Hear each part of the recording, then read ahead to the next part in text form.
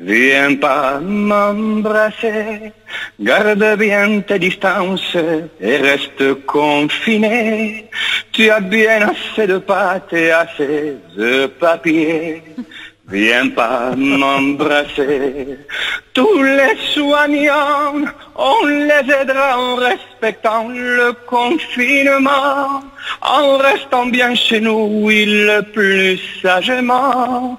Et à 20 heures, en les applaudissant, bye bye. Tous les soignants n'ont pas seulement besoin de masques et de gants, pour sortir du cauchemar le plus rapidement.